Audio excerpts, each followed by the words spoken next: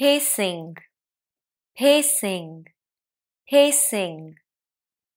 To walk at a steady speed, especially without a particular destination, and as an expression of anxiety or annoyance.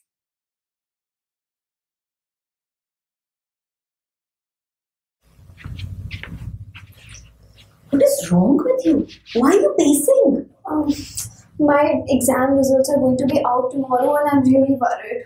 So, walking up and down like this is not going to solve anything.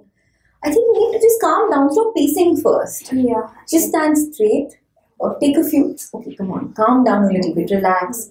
Take a few deep breaths.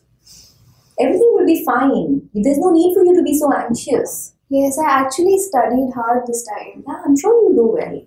And all this pacing is just beginning to give me a headache.